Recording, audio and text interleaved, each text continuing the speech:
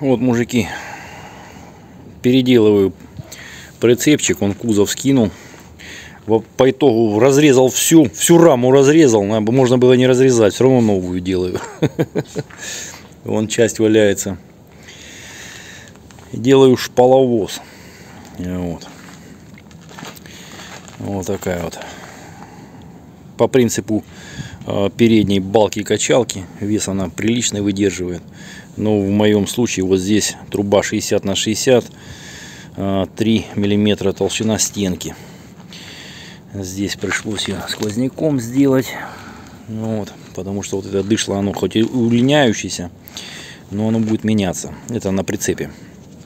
Меняю расстояние. Потом навесы сюда еще две трубы вварю, и там навесы чекирятся, будет еще и прицепчик. Ну и шпаловоз. Потому что, ну, прицепы как бы есть. Вот тут вообще надо распилить за ненадобностью. Вот просто кусок корыта на колесах.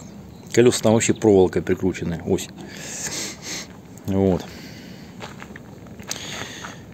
Вот такие вот дела. Надо вот те вон шпалы, вон они, вместе с этим брусом дубовым перевести в другое место.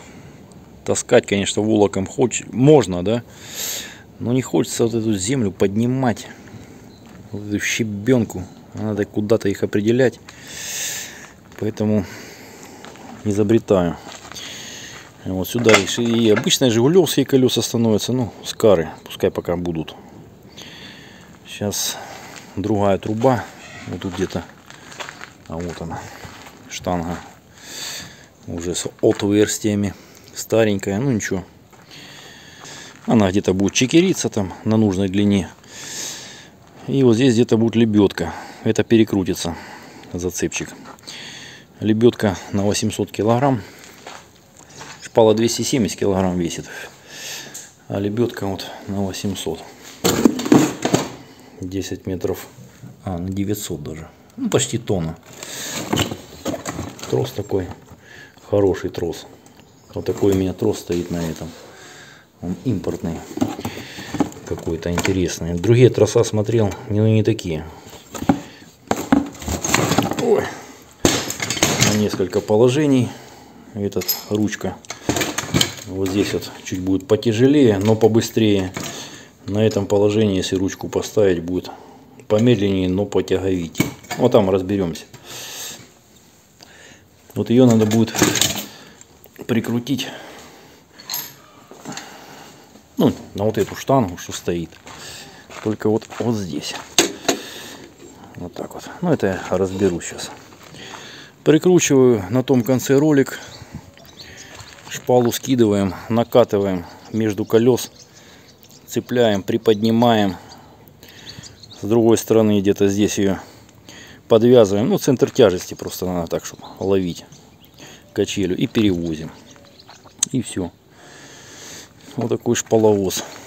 Где надо, опускаем.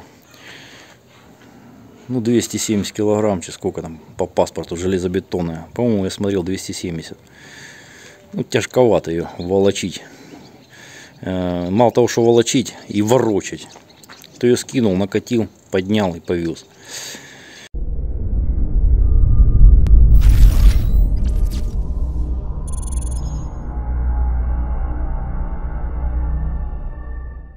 Так, ну испытание. Поднимает очень легко. Вообще шпалу без проблем. Чуть-чуть туда большую часть, там ремень, чтобы опора была. Тут на удавку. Да милое дело, смотри.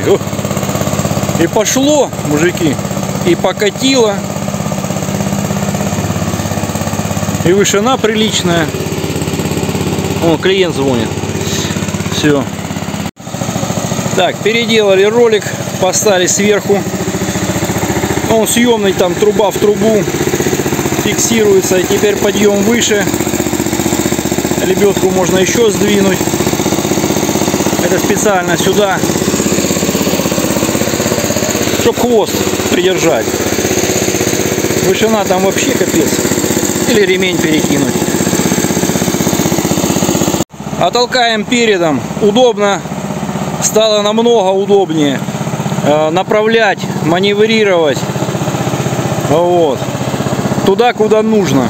Задом вообще не то пальто. А вот здесь э, четко направляется. Вон шпалы перевезли. Вообще при помощи него шпала на шпалу заехала, положили. Ну вот сразу два бордюра на удавочку. Легкотня.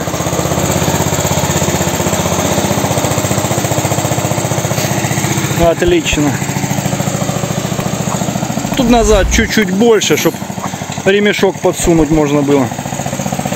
Чтоб вперед не клевало. И все. И поехало все, покатило. Сейчас мы прям сверху два на третий положим там, а потом заберем. Вот сейчас батя попробует прямо вот сюда накатить сверху. Вот две прокладочки положим, чтобы трос достать. Наверх, да? Наверх. Ну, это первый опыт использования данной тарантайки. Но зато очень хорош. Все, все, все, все, все. Чуть назад. Чуть-чуть назад. Чуть-чуть. Вот там оно. Все. Отлично. Все, сейчас. Да я взял вот два. Две палочки. Трос достать, а потом забрать их и переложить. Вот и все. Сейчас вот этот ремень скину и опущу. Все, опустили. Батя вот с этой стороны чуть-чуть придавил, а я опустил. И все, оно ровненько легло. Также заберем и переложим. Когда шпалы вот там уложим, мы их наверх шпал засунем. Офигенно, вот три бордюра. И все. Не, вот так передом офигенно вообще. Четко. И рулить четко. И видно, куда толкаешь. Ну, а заткануть можно пустым. Оборачиваться не обязательно. И так все видно. Блин, дождь начинается. Сейчас там на на лебедке пружинку переставить в другое место, чтобы оно сильнее дожимало. Да не, пускай тут. Вот тут пружинку. Она стояла вот здесь. Ну, так как к плоскости никуда не крепим. Снизу просверлил, вставил. И все. И собачка это сразу заработала так, как надо. Это вот в одном положении. А то не фиксировалось вот в этом, в нижнем. И когда трос тянешь, разматывался. А сейчас можно э, потянуть и все. И она как бы притормозит ручку. Потому что тоже его нужно э, растягивать.